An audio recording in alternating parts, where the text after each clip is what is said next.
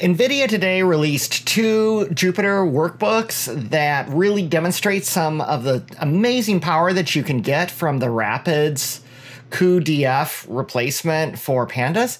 We're going to go ahead and install Rapids on a Windows workstation real quick, and then we will jump right into looking at what the capabilities are. After this video, I'm going to do two additional videos where I go through each of these two workbooks and show some of the things that you can really specifically make use of Rapids for. So without further ado, let's go right to the web page here. We're going to click the install link and then we're going to go down to here for the operating system. We're going to choose WSL2. Note the limitations. These are more limitations of WSL2 only one GPU and direct GPU storage not supported. So we're going to go through and do this the preferred method with Conda.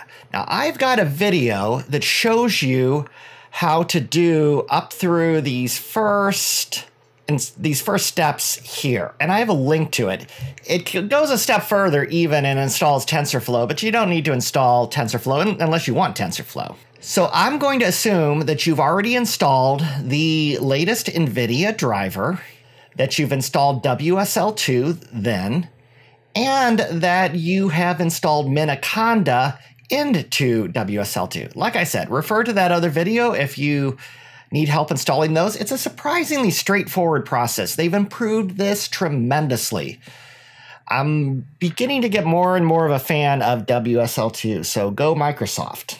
Let's pop open our PowerShell window here, and I'm just going to go right into WSL2. You should have Python already installed. Miniconda. Okay, Python's installed. This is good. We're going to use the Conda method. It's going to create a Conda environment for you to make use of. So I like using the release selector here. It's a lot more straightforward. This reminds me a lot of how you install PyTorch. I am going to accept all the defaults. I'm going to also install Jupyter Lab, and heck, you could even throw TensorFlow in if you so desired. So I am going to install, eh, I'm going to add it. I might use it in a future video. So let's go ahead and I'm going to take this, copy and paste it, and then we're going to go into the WSL2 it did, wow, wonderful. It did grab a little bit of extra stuff here. So make sure you just get where it starts at Conda. There we go. Now we've got exactly here what we had here. So let's run this, see what it does. We will fast forward through this. This does take a while. There's a number of things getting installed here. And while it's downloading, let's have a look at some of the NVIDIA benchmarks. Just looking at some of the common operations that you're performing in data preprocessing, you can see the tremendous speed up over CPU. Merge, where in particular. I mean, you're searching all the time doing that sort of thing. And these notebooks provided by NVIDIA demonstrate this quite well. And some of the key use cases are real time exploratory data analysis and time series processing. I know there's a project that I've done some research on that I'm really looking forward to trying this out on because it's time series in the medical domain. And we'll take a look and see what that looks like in a future video. It's really super easy to throw this in where you already have pandas. Many of the pandas replacements require you to recode from scratch. Here you can see that you had pandas in previously, and you simply replace it with cuDF. All right, I bet it's installed by now. And we're up and running. First, I'm going to move into my downloads directory where I pulled those two workbooks into. We'll activate it. Okay, launching Jupyter Lab. And then you just control click one of these and we are in Jupyter Lab. And here we can see the two. I'm just going to go to the time series one first. I'm going to do another entire video on each of these two notebooks that NVIDIA put out. They're really pretty neat. You can see the the GPU time, CPU time, and the speed up. It's quite substantial. I don't know that I'm going to necessarily get the same results here. I am not at all setting this up for a benchmark, for a formal benchmark. Heck, we've got screen recording software going on. We've got Windows going on. I'm sure these are probably Linux times. This is also using a earlier generation GPU than mine as well. So who knows? But not a formal benchmark. We're going to run this part. It's going to download these files. This takes a little bit of time. These are big files, so we'll fast forward through this. Okay, that is done. Let's go ahead and untar them. You can see these are pretty big files, nearly a gig compressed. Okay, and they're unzipped. Let's list them. This should look basically the same, except it's me that owns them now. And you'll see they're 3.2 ish gigabytes, so a little shy of 10 gigabytes worth of data. Definitely enough to blow out my 12 gigabyte laptop GPU.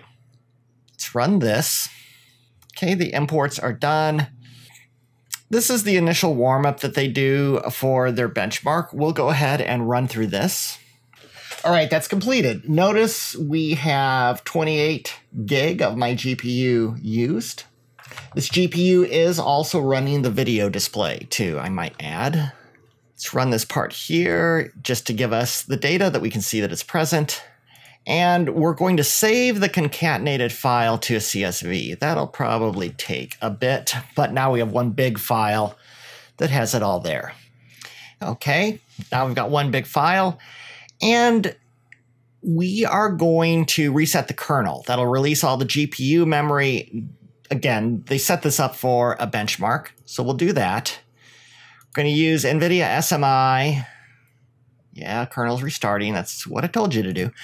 So we're going to do NVIDIA SMI, and this is what they got. Their GPU was around 30% idle, uh, six six megabytes, so not not being used tremendously. And 48 gig, which is for an A6000. So let's run SMI. A little bit more memory being used by mine, but I am running the GUI on this as well. And that probably accounts for the additional 7% utilization of the GPU. We'll bring Rapids online.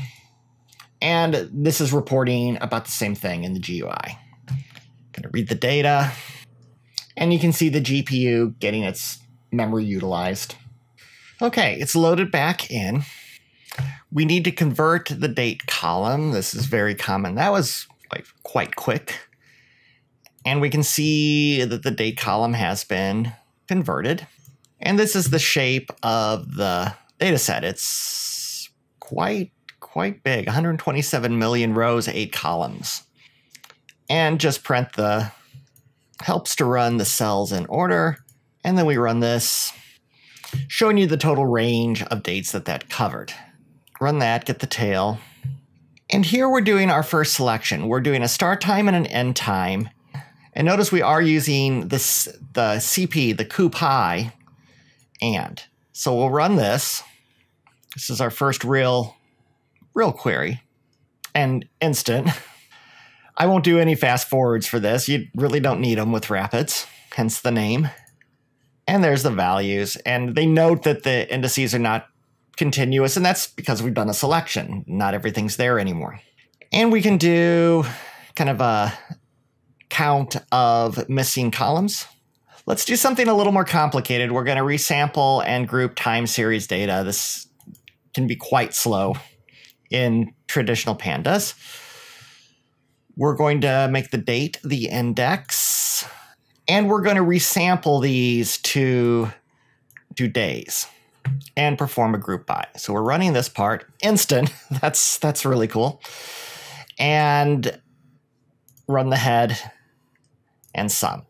So you can see by using rapids, the I mean that I would expect to be pretty quick, but it it goes by quite quickly. Other types of filtering and other things also go pretty quick. Now this part went slow. That's the import. That doesn't count. And then we we run this.